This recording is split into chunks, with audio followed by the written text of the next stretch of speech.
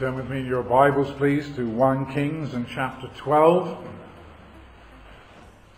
And we read from verses 25 to 33.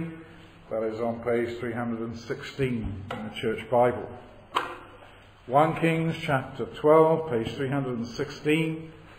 We read from verse 25 to the end of the chapter.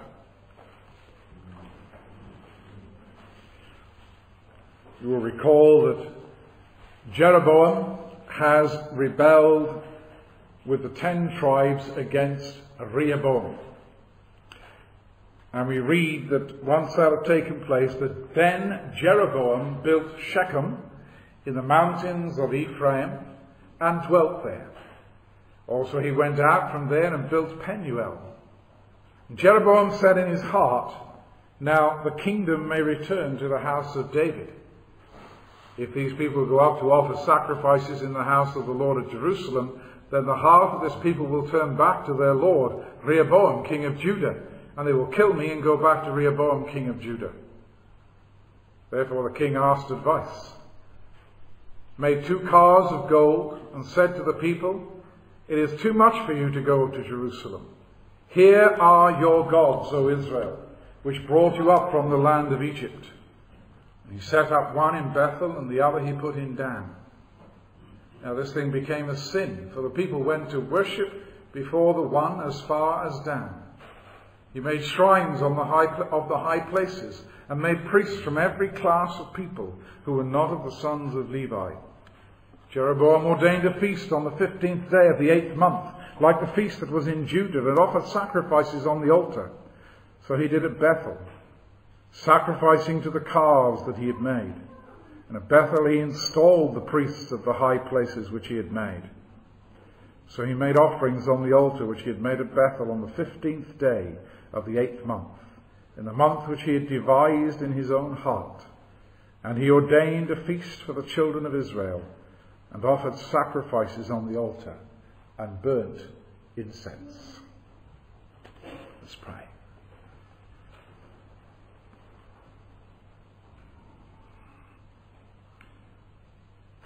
Lord, we believe that you have given us the Holy Scriptures. And when we read events like these and examples like these, they are written for our learning, in order that we may be warned, in order that we may be instructed. And Lord, we pray that by your Holy Spirit tonight you would come and help the preacher to preach plainly and clearly what is here. Help those of us who listen to hear and to receive what we have here in Scripture and to realize together what an enormous sin Jeroboam committed. Our God, we pray that as a consequence of what we hear tonight, we may strive on toward holiness and toward heaven and be turned away from our sin unto Christ. Lord, we ask it in his name. Amen.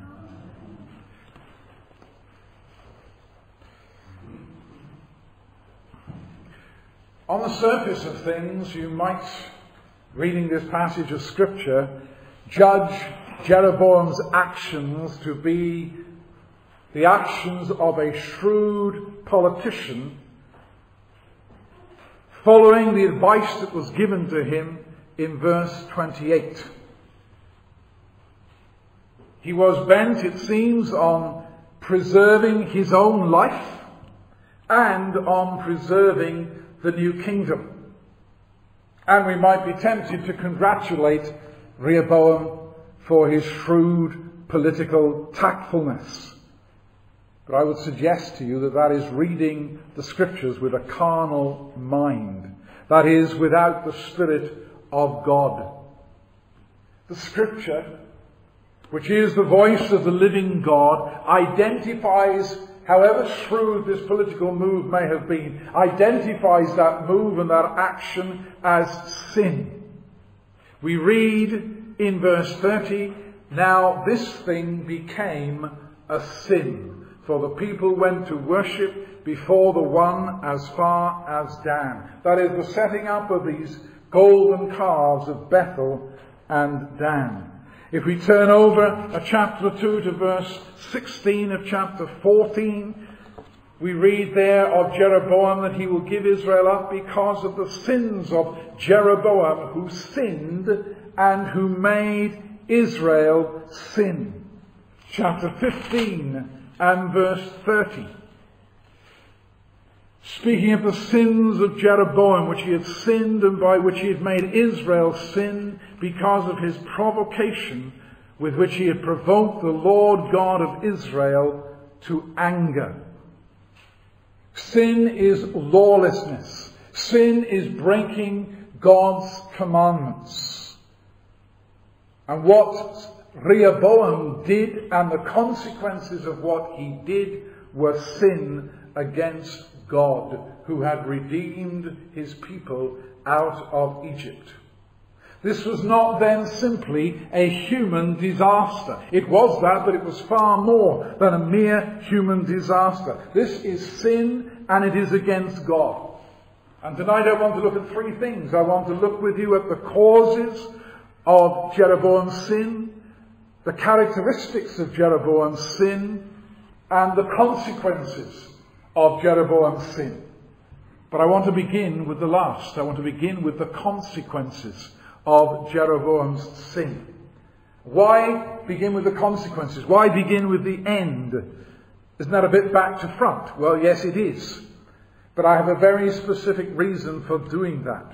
It is in order that you and I will pay far more attention to the causes of his sin and the characteristics of his sin when we realize precisely what the consequences were. I want you to come away from tonight with a sense of hatred for sin and the sins that Jeroboam committed. I want you to set up a careful watch in your own heart that you might not walk in the ways of Jeroboam. Satan is our arch enemy, and what he loves to do is to minimize sin, to trivialize it, and say it's not as serious as you think it is. Uh, you, you know, you're going over the top. It's not bad as bad as you think. It's not really serious. It's only a little thing. Make no mistake, Jeroboam's sin was a great sin. And we dare not trivialize it.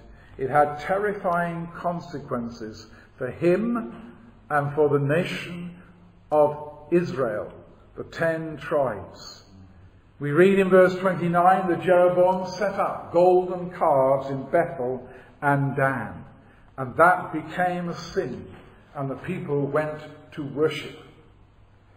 If you read through, and we will be working our way through for some time yet, I guess, through 1 Kings and perhaps even into 2 Kings, and you will find a repeated phrase and set of phrases with regard to what Jeroboam did. We've already referred to two of them in chapter 14 and verse 16 and chapter 15 and verse 30. Indeed, there are 20 or so more references through 1 and 2 Kings indicating that he was the man who made Israel sin. What Jeroboam started was never removed from the nation of Israel. It became an established pattern of wickedness. It became known as the way of Jeroboam.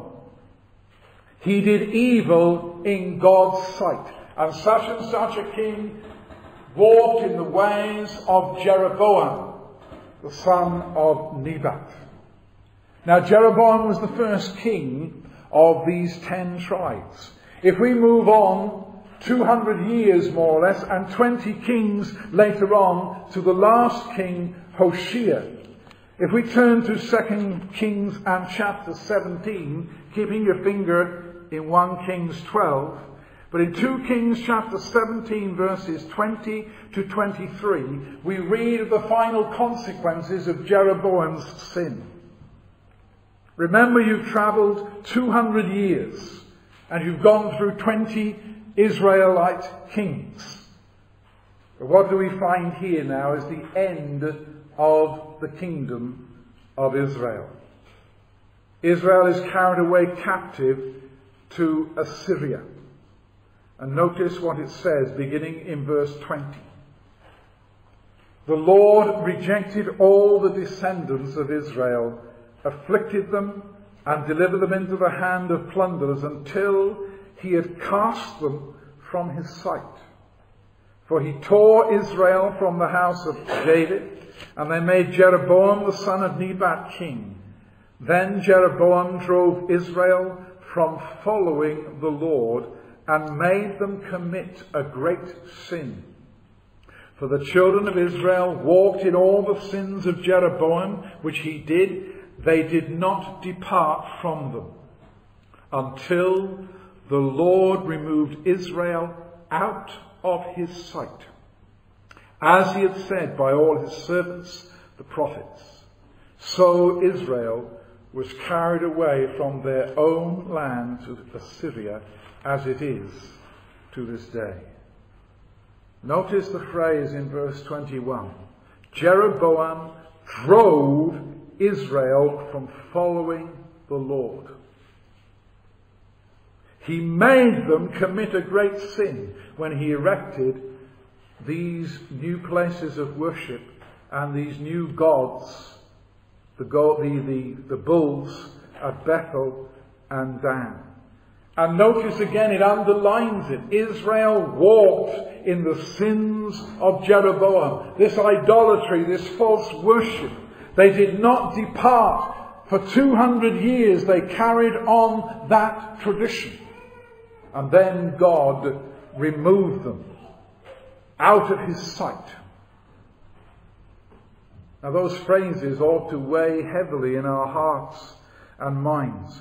Can you think of many greater sins than the sin of Jeroboam, driving the people away from following the Lord, turning them away, sowing the seeds of apostasy, sowing the seeds of their own destruction, so that God would come and turn his face away from them and cast them among the nations of the world. Can you contemplate anything as serious as this? Bringing down the wrath and the judgment of God on a people who were once the people of God whom he had redeemed out of the land of Egypt. I would suggest it ought to send a few cold shivers down the back of your spine. Make you afraid. Should Christians ever be afraid? Yes, you should be afraid of sin, afraid of offending God, afraid of being responsible for turning others away from God, yourself turning away from God, from serving Him. What if I stood up here and preached a false Christ? What if I began to introduce elements into our worship that were foreign to what the Word of God says? What if I was responsible for turning you away from the gospel of Jesus Christ? What if you were responsible for turning the next generation, your own children, away from the truth because you no longer held to it? Having professed it, you turned away from it. There are preachers, and there have always been preachers, but there seem to have been many more in our nation in the last century or so who have scorned the Bible, who have scorned the miracles of Christ, who have scorned the teaching of hell and of judgment, who have scorned the penal substitutionary atonement of Jesus Christ, who have belittled sin and said, no, we're not as bad as that, we're really quite good. And they have led people no longer to believe in this book and to turn them away from the truth. It's a terrible sin to ruin the souls of thousands. That is what Jeroboam did. He ruined their souls. He turned them away. He drove them away from serving the Lord. That is the consequences of his sin. I don't know if you had realized that before or not. But that is the case. And if that is the consequence of his sin, then we need to ask our question then, well, where did it all begin? How did it come about that Jeroboam was responsible for such a great sin? Well, then let us look secondly at the cause of Jeroboam's sin. We read in verse 26 and verse 27 of 1 Kings 12 Jeroboam said in his heart, Now the kingdom may return to the house of David.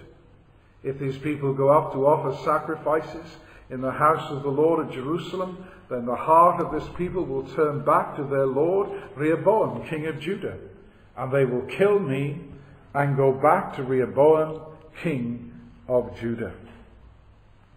Now don't gloss over that first phrase in verse 26.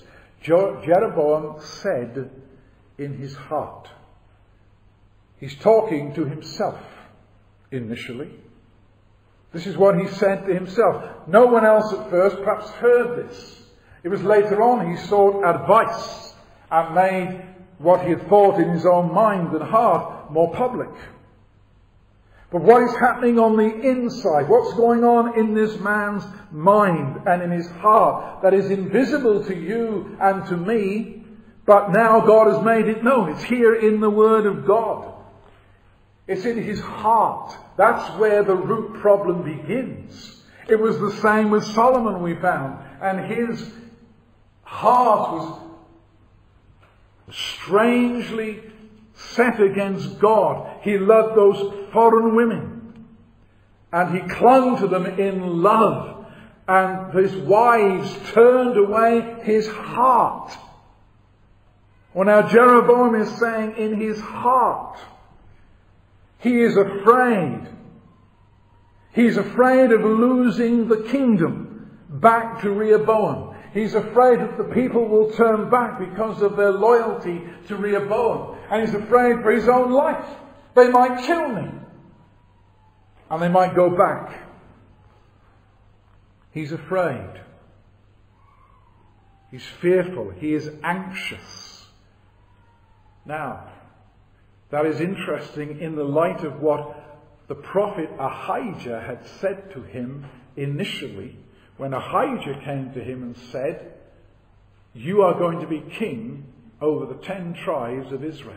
You remember he tore his cloak into twelve pieces and gave ten to Jeroboam.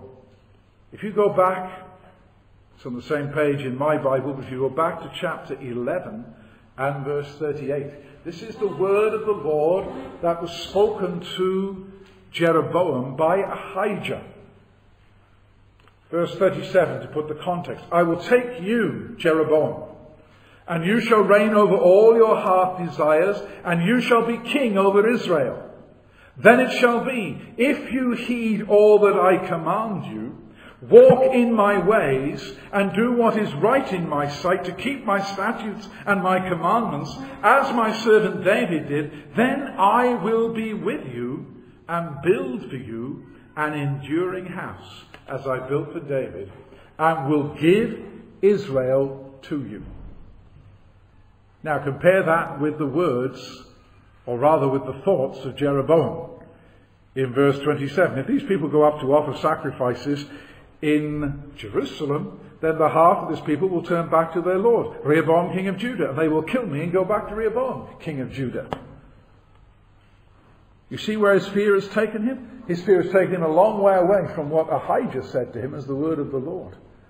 He is afraid and he is not listening. Now he is shut out. He doesn't believe the words of the Lord spoken to him by Ahijah, which saying, I will make you an enduring house. If you follow me, if you heed my commandments, I will give Israel to you. There's no way it's going to go back to Rehoboam. But Jeroboam does not believe that.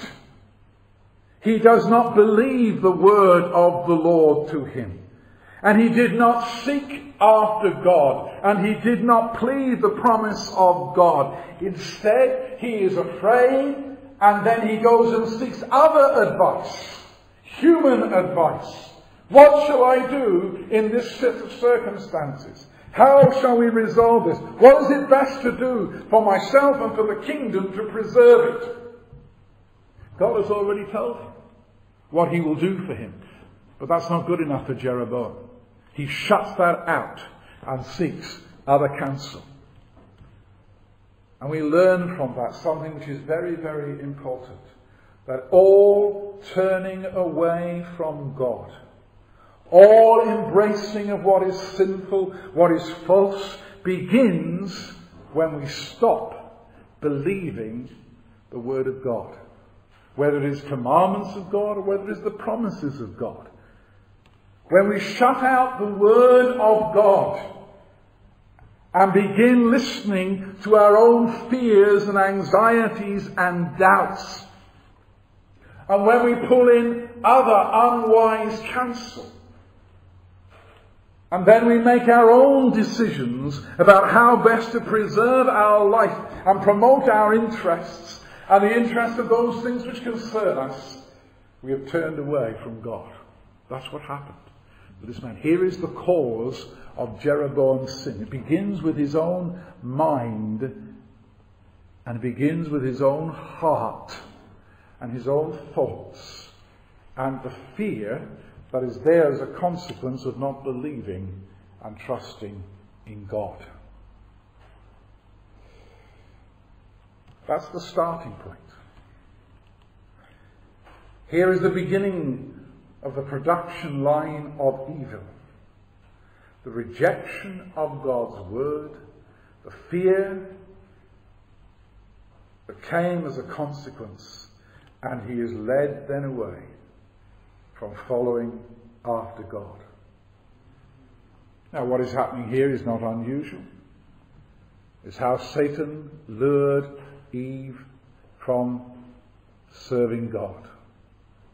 Has God said? Remember how the devil came? Has God said, Eve? He began to sow doubts in her mind about the truthfulness of the Word of God. Now Jeroboam had put the word of God to one side. It's as if God had never said those things. He discounted God's promises and God's provision. But it is not unusual. This is the way sin works. This is the way that Satan works. Someone has rightly said that fear is faithlessness. Fear is something that is of the flesh. Fears take you away from God. Fears, doubts, and anxieties take you away from God. Rob you of the ability to act and to reason and to think clearly and blind you to the way of obedience, to the way of duty and to the promises and the commands of God. It pushes them out of the picture. That is what had happened to Jeroboam. Isn't it true?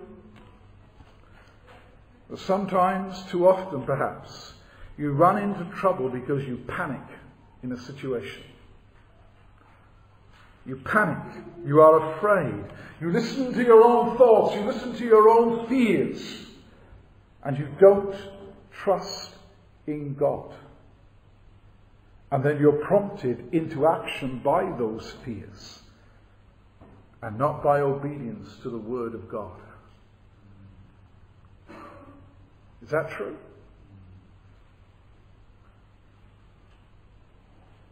Let me give you some biblical examples. Abraham was afraid when he met Abimelech, the king. He was afraid for his wife's safety. So what did he do? She's my sister. He lied. It was half, I can't say it was half truth, but it was partly true. She was related to him, but she was his wife. But he was trying, he was afraid. He says, There's no fear of God in this place. And I've got to do something to protect Sarah. And that's what he did. He did it more than once. David. David was afraid. Saul is going to catch up with me one day and he'll kill me. So what did he do? He goes off to the Philistines of all people. And among the Philistines, he gets himself into all kinds of trouble and has to play the fool and pretend he is a madman and let all the saliva run down his beard. Why? Because he was afraid.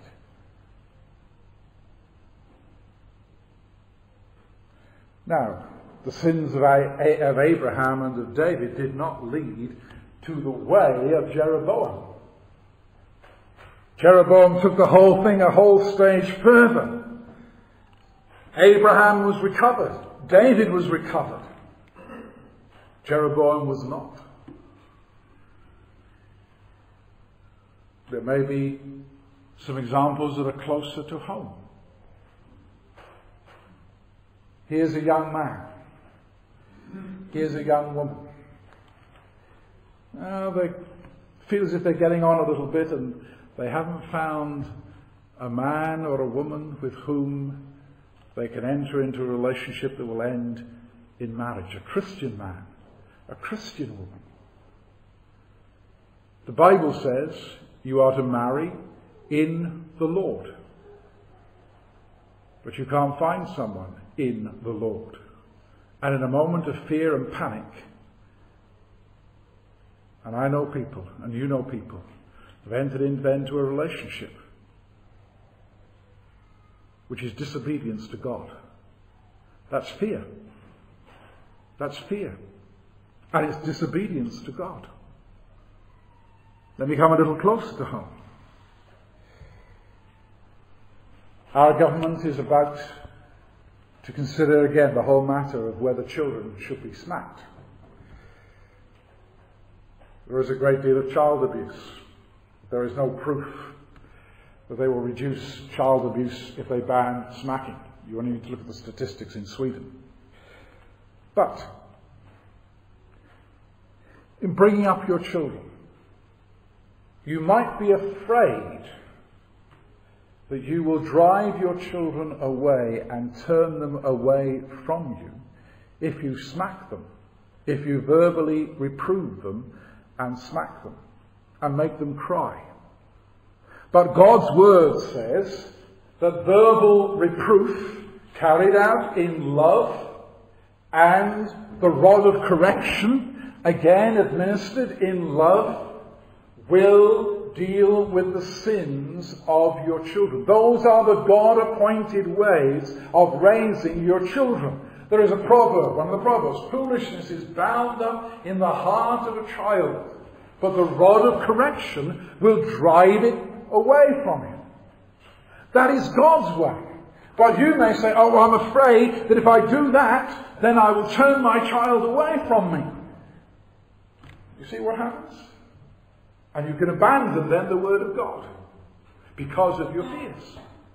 That's the kind of thing that Jeroboam is thinking. You see, where did it start? It started in your mind. It started in your heart. You were thinking, well, if I do this, then this might happen.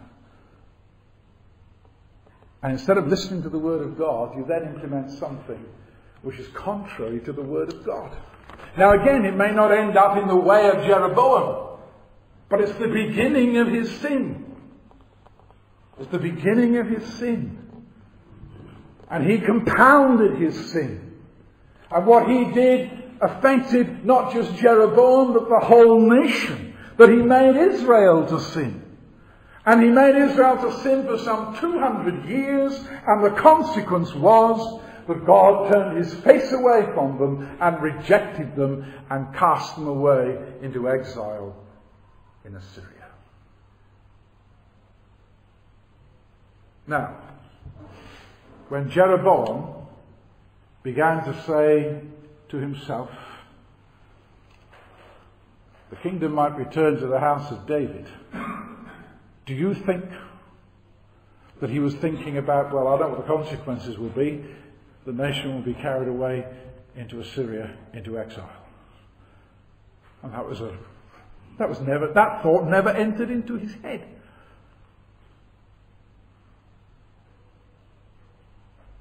But you can see then the danger of where this sin begins. You'll never see the consequences.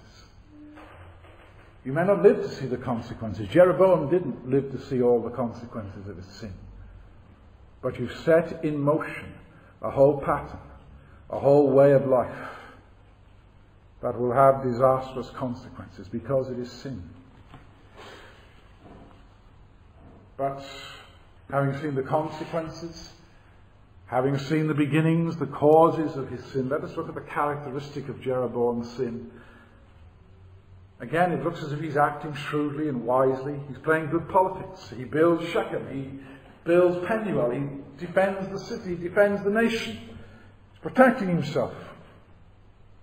But then, with those fears in his heart, the kingdom may return to Rehoboam having rejected the word of God and followed his fears and sought the advice of others, there are four things that he did. And on each occasion, and this com- really compounds his sin, on each occasion he followed the evil inclinations of his heart, having already rejected the word of God from Ahijah with regard to God saying, I will build your kingdom.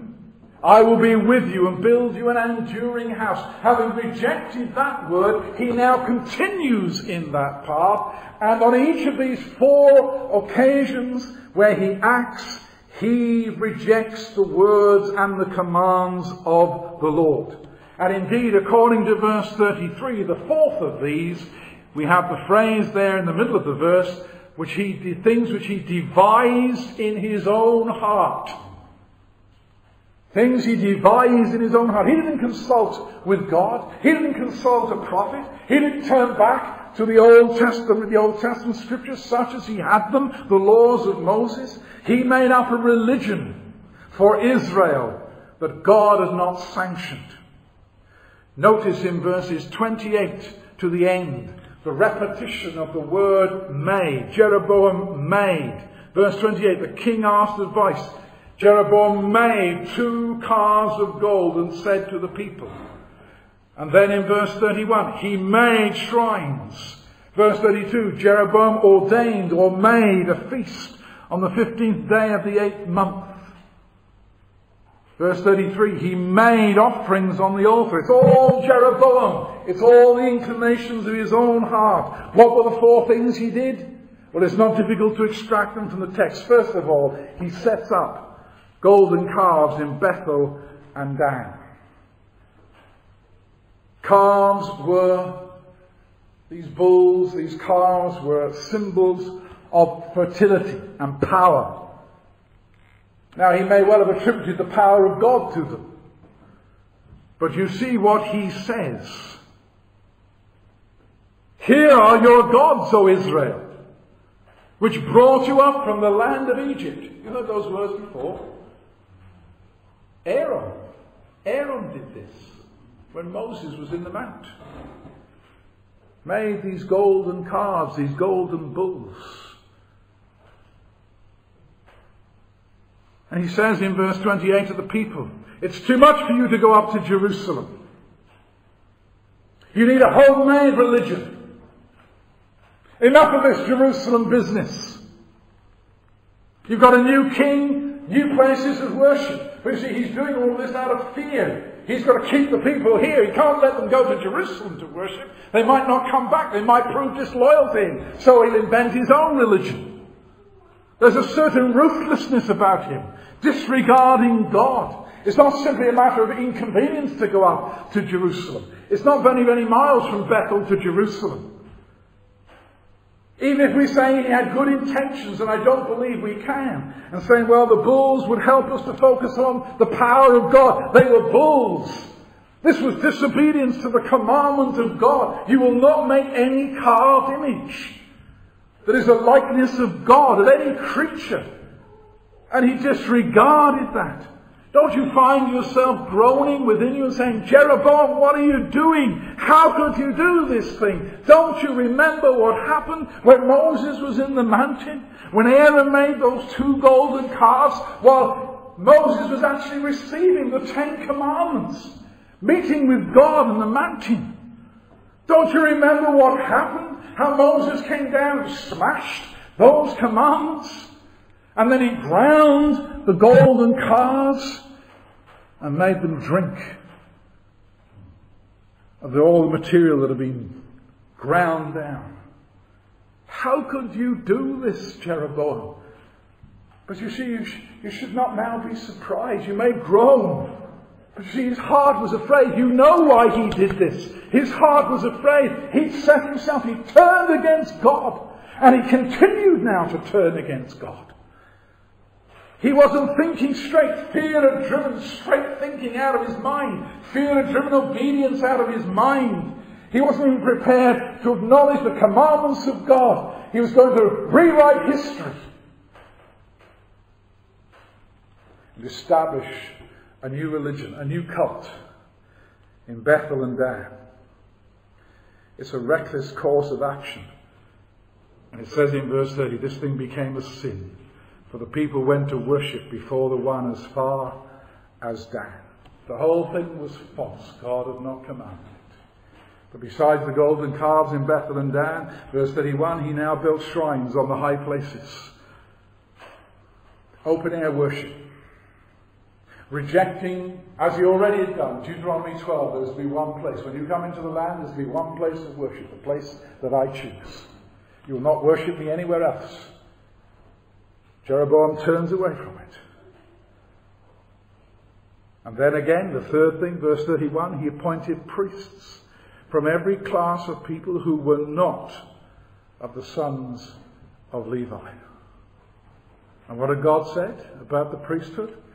To be the sons of Levi. Whose rod was it that budded? It was Aaron's rod. They were the ones, Aaron's Levites were to be the priests.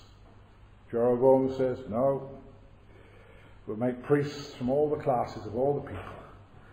They don't have to be Levites. We'll rewrite God's word. God had rejected other men as priests. Didn't seem to matter to Jeroboam. And then, fourthly, he appointed his own days and feasts of worship and sacrifices. He made the 15th day of the 8th month special. God had never made that date special. God had made other days special, but not that one. He reinvented the calendar. He changed the dates. Nothing in the law of Moses about that date. And expressly says, this is the devising of his own heart. You see then, just simple. It's there, isn't it clear? I've not told you anything that isn't in the text. At every point, he rejected what God had commanded. The pattern that was set when he rejected the word of God that was given to him by Ahijah, and he allowed those fears to come into his heart and now he's bent on this pattern of self-preservation, the preservation of the kingdom, in complete and utter defiance to everything that God has commanded regarding his worship.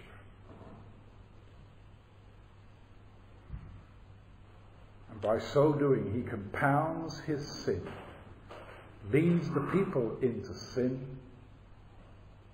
drives them away from the living God, and brings God's anger and just judgment eventually down upon this people. And everything that he has done and the religion that he has created is false because God has not sanctioned it. It's all human invention. It's all nothing. All the outward forms of worship are there, it looks like the real thing, may even sound like the real thing, but God says it is sin, it is evil, it is an abomination. You are provoking me to anger. You are offering to me things that I've not commanded you. I've not sanctioned this. Was it not the same in Christ's day?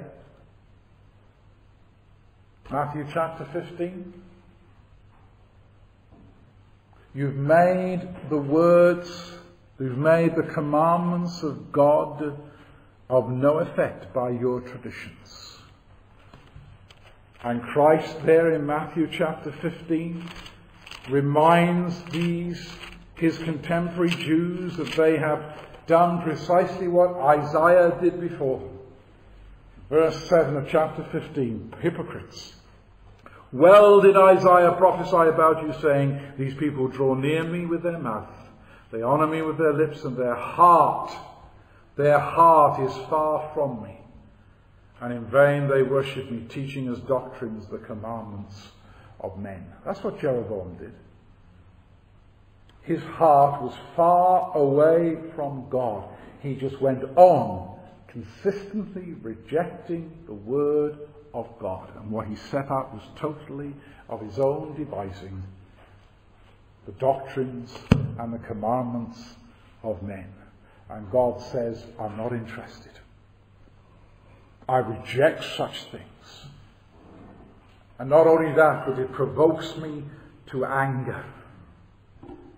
It was the same thing in Paul's day. Along came these Jews who said, well, it's great to see all these Gentiles in the kingdom of God, but they need to be circumcised. And Paul says effectively, over my dead body. No way are they going to be circumcised. No way are you going to confuse grace with law. No longer are you going, no, no way are you going to confuse and muddy the pure waters of the gospel with human traditions that God has not required. And the same thing is true today. When the worship of God is founded upon things which God has not sanctioned and commanded. When men and women introduce their own ideas and their own heart devisings, men and women today want to follow the subjective feelings of their own hearts and establish patterns based upon what they think in their own minds. And what you end up with, a kind of entertainment. This is what I want, this is what makes me feel good. And that's the kind of thing that happens. But what has happened? There's a rejecting of God's word. John Calvin once said that the human heart is a factory of idols. When a human heart is left to its own devising, it will manufacture idolatry. That is why we need the Word of God. That is why God says, This is the way you are to worship me.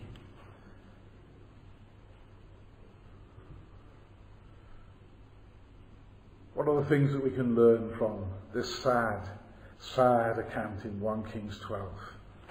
First of all, I would suggest to you there is a need for us to learn to listen, to discern, and to be obedient in our hearts to the Word of God. And I choose what I say carefully. We need to listen, we need to discern, we need to obey from the heart what God has said in His Word.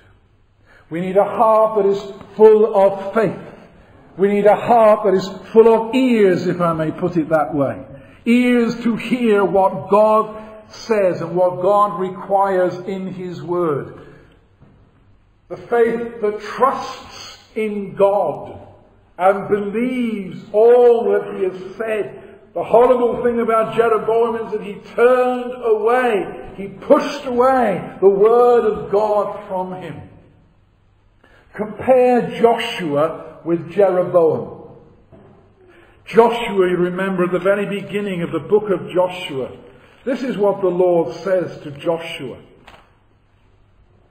In verse 3, Every place, Joshua, that the sole of your foot will tread upon, I have given you, as I said to Moses, from the wilderness and this Lebanon, as far as the great river, and so on and so forth.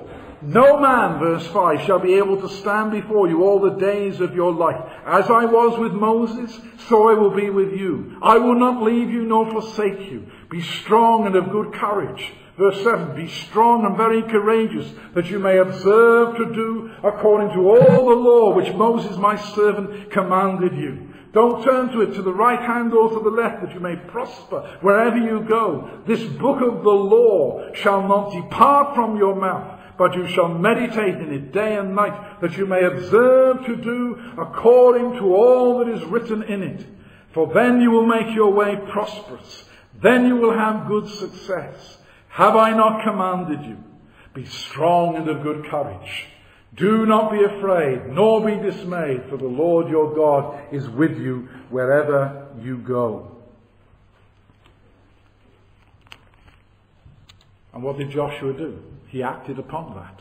And what was the consequence? They went in and they possessed the land. Precisely as God said they would. Was God with Joshua? Absolutely. Did Joshua seek to obey the Lord in the main? Yes, he did. He made some mistakes. They learned as they went along. But Joshua, first and foremost, was a man who was strong, a man who was courageous, a man who obeyed God, a man then who carried on his life and led Israel in the way of prosperity, in the way of success. So that they went in and tribe after tribe after tribe acquired their inheritance. So that we find in Joshua chapter 21, and verse 43, the Lord gave to Israel all the land which he had sworn to give to their fathers, and they took possession of it and dwelt in it. And Joshua was the man who led them in that triumph and in that success. He obeyed. He listened, he discerned, he obeyed from the heart the word of God. Jeroboam, what did he do? He took one step away from the Word of God, and then he took another, and another, and another, and another. And he brought total disaster upon the nation of Israel. These things are written for our learning, brethren. The danger of not believing God's Word. But there is a warning also. We need to listen and discern and have an obedient heart. There is also a warning. What is sobering and terrifying about Jeroboam is this that he's not afraid of sin. He doesn't seem to be afraid of sin. He doesn't seem to be afraid of disobeying God. He's afraid that the nation is going to go back to serve Rehoboam. That's his fear. But he doesn't have any fear of offending God and disobeying God. He refuses, and I'll put it that strongly, he refuses to trust in God. God made a promise to him through Ahijah. But he refused to trust in God. There seemed to be no fear of God in the heart of this man, even though a prophet had spoken the word of God to him and idolatry and apostasy is the sad result of a man who is not afraid of sin. But for the grace of God, if you were left to yourselves and the fears of your own hearts and the sins of your own minds, that's where you and I would end up. This is a man without the grace of God in his heart. This is a man who has consistently turned against God, turned against his Redeemer, turned against his Saviour, and led the people astray. And it was where we would all go unless Christ gave us his grace day by day. Be afraid of sin. When Satan whispers, it's only a little thing, don't listen to him. Sin is never trivial. You know, later on you get to the reign of Ahab, and he regarded the sin of Jeroboam as a trivial thing. And he outdid Jeroboam, as we will see in due course. That is disastrous.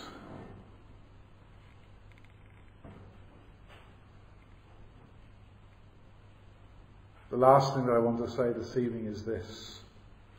There's some of you here this evening who may well not be, and I think I'm right in saying there are some here this evening who are still not believing in Christ. And I'm afraid for you. You're not afraid of sin, or you don't seem to be afraid of sin. You're not aware of the peril of being without Christ. I don't think I've ever seen it growing outside anywhere, but there is a, there is a plant, there is a flower that is a fly trap. I think it's called the Venus flytrap. The fly is attracted by the scent of the flower, and it rests in the flower and it's sticky. And it can't escape, and then the plant just closes up. And the fly is devoured by the plant. There's some of you playing with sin. You're not afraid of it. You're not aware of the danger. Because if you were afraid of sin, then you would run from it and run to the Saviour, Jesus Christ, in order to be saved from your sins, in order to come under His protective arms and His protective umbrella, as it were. You should take the warnings of sin that the Scripture gives us seriously. And take Christ seriously and begin to cry out that you might be saved from your sin and delivered from the wrath that is to come. You must go then to that crucified Saviour who shed his blood on the cross to atone for our sins. Don't be afraid of going to him. He will not turn you away. He will not cast you aside be afraid of sin, but not afraid of Christ and coming to Christ. The devil will try to say it's no use to go to Christ. Don't listen to him. He wants to keep you away from him. Go now to Christ. Go immediately to Christ. Go directly to Christ in all your sin and cast yourself upon him. And he will save you. He will cleanse you. He will pardon you. And he will put his protective arms around you and he will bring you to glory to be with himself. That is his promise. Oh, may God grant us grace that we may walk not in the ways of Jeroboam, but we may walk in the way of Christ, faithfully serving him who has purchased us with his own precious blood. Amen. O oh Lord our God, we pray that you would deliver us from our fears and from the evil inclinations and desires of our own hearts. Place within us a godly fear, a true obedience and desire for your honor and your glory and your immortal praise. Grant, O God, that we might walk in the ways of Christ and be fruitful in every good work. Lord, deliver us from the sin of Jeroboam. Keep each one of us and keep this church true in our religion, that we might not follow the devisings of men, but that we might worship you in the way that you have commanded, worship you in spirit and in truth. We ask it for Jesus' sake. Amen.